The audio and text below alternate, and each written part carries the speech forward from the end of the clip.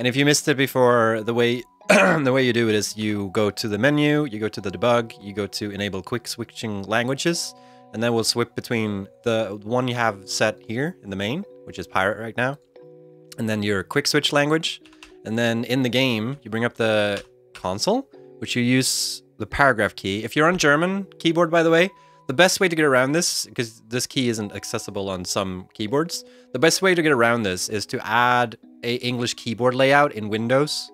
Um, and then you, you you press Windows space to like swap between the two layouts uh, wherever in Windows.